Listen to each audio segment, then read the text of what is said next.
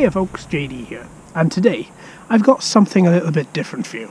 This is the Helifar H803 and it's an obstacle avoidance quadcopter. I know, in a nano, mm, probably isn't going to be great, right? Okay, so what do we have? Four brush motors, a really nicely painted, almost bird-esque body to her. We have this package comes with two batteries, giving approximately five to six minutes of flight each battery. Obstacle avoidance nodes on either side and underneath as well, as well as a really bright couple of LEDs also for you to see her orientation. And this is her. So you've got a couple of obstacle avoidance nodes on the side and what I'm thinking underneath as well. Now, the manual is quite difficult to understand, so that's why I'm guessing, but we're going to give it a shot and see exactly how this goes. No camera, very basic, other than those collision avoidance systems. So I want to see how that works. Apparently, if you come too close to her, she'll just fly away from where you're pushing against or where the obstacle is.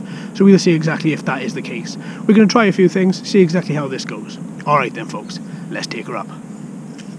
All right, so here we go. So we've got the quad. So I'm going to just, as usual, line up everything and then pop her on the deck just so that the gyro can calibrate or start the calibration process. There we go. Now let's turn on the quadcopter. Let's turn on the um, transmitter. Single one up and one down to bind. All LEDs are nice and solid now. Right, so with this, we're going to use the one key takeoff and we're going to take her up in a minute let's get those gyros calibrated down and to the right to calibrate those. And now we're going to use the one key takeoff. Alright then folks let's do this. Alright she's up and she's moving around a bit. So what I'm going to do can she find a centre let's give her a bit of trim to the front just to stop her kind of moving backwards. I think that is bang on the money. Okay let's move her forward. Let's Ooh, that's not a good sign. She just won't go above. Look at that. She just won't go above anything, look. She's not increasing altitude.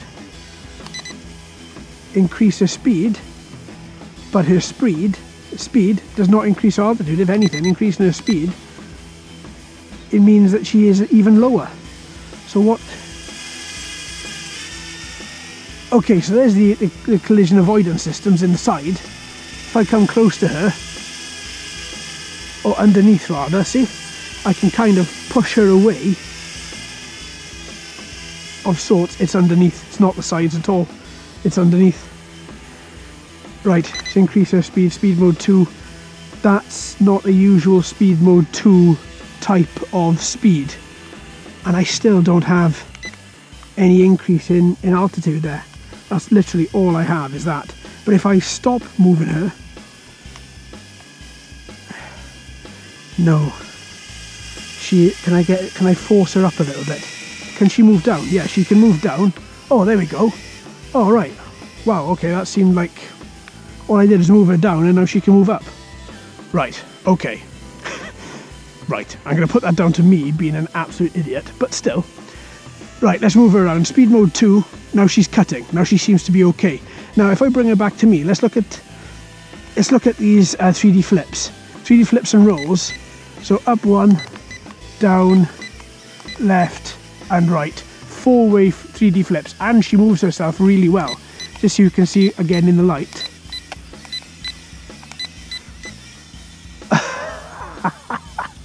okay, that's good. Right.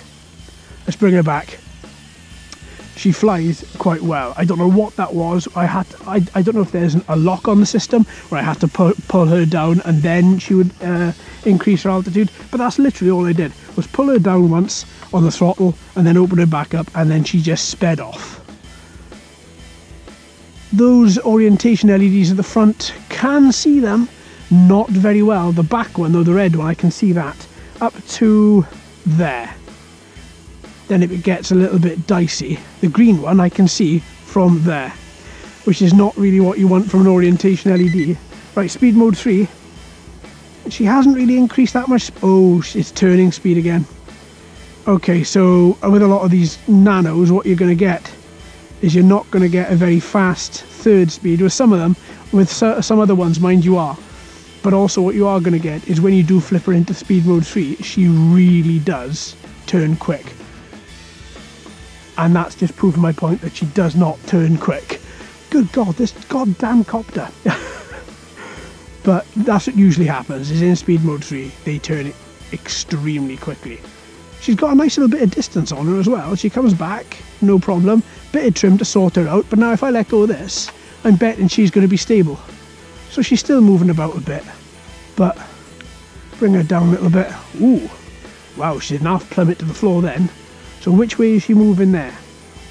She's ducking her way to the left. So if I give her a bit on the right. No, I think that could just be balance. That's not something you can trim out by the look of it. Right, okay.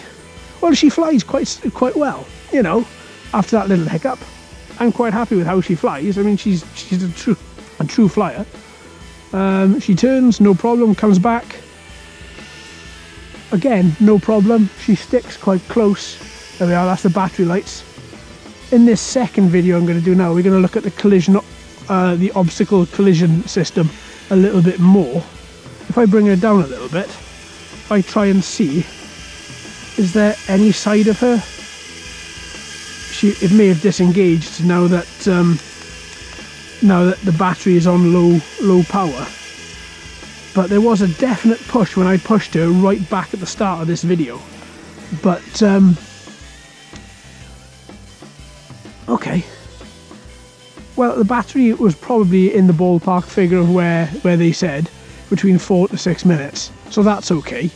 Um, but that it does concern me that I had to push down in order for it to take off. But still, she's up in the air, she's flying, she's doing it right now, and there hasn't been an issue since she's been doing it right. So I'm going to put that first bit down to me. I'm going to take the blame for that one. I'm not going to let this little guy take the blame for something that may have been my fault that I couldn't read in the manual because the manual makes no sense. So, that being said, and we're flat out in, yeah, speed mode 3. So we've been flat out in speed mode 3 all this time and the battery is still giving us a good four and a half, five minutes, which is the ballpark figure. I think it was five, five to six, I think. Um, which is pretty good. Oh, and now she's landing. Oh, no, she's not. I can battle against her. But you know what I'm going to do? I'm going to take her into land. Because I think we're getting close, yeah. She's trying to auto-land herself. There we go. Perfect. Right. First video done. Thoughts on first video? Well, these little motors are screamers, but they're not warm at all. The whole quad's very cold, including the battery. Uh, yeah, took her up. Couldn't get to increase altitude, but then as soon as I pulled down on the throttle, then she and, and, and, then pushed back up, she increased in altitude, no problem. So I think that could have been like a little unlock sort of procedure, perhaps. I don't know. I've not heard of it of a quadcopter like this, but then I've never seen a nano with collision avoidance systems. So you know, I may be wrong. When I was over here, approximately, and I was moving my hand around, there was a certain, I think it was underneath, that as I moved my hand, she increased altitude.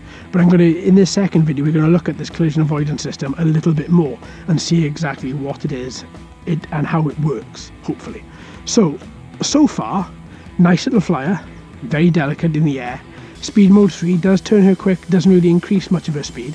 Speed mode 2 isn't a discernible uh, isn't much of a speed difference on speed mode 1.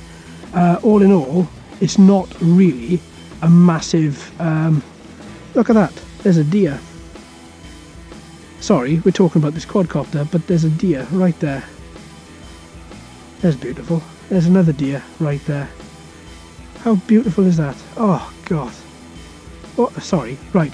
Uh, yeah, so, um, as I was saying, Speed Mode 3 isn't much of a difference on Speed Mode 1 or Speed Mode 2. It is a little bit quicker.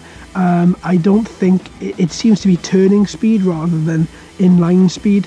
Uh, the LEDs aren't bright enough. The green LED I could see when it was literally about there, and then I could see it. The red LED was quite was quite good. I could see it probably about 10 foot away that was okay just to get my bearings as to what orientation the quad was at. Uh, yeah, so far though, so good. I like her. She's alright. We're going to see what she's like in the second part of the video and see how this obstacle avoidance systems work. So with that folks, I bid you farewell. Thank you ever so much for watching and listening. I've been JD, you've been fantastic as always. If you haven't already, please like and subscribe. Hello and welcome to all the new subscribers. I hope you're enjoying the channel. So until next time, my friends, Happy flying. Thank you.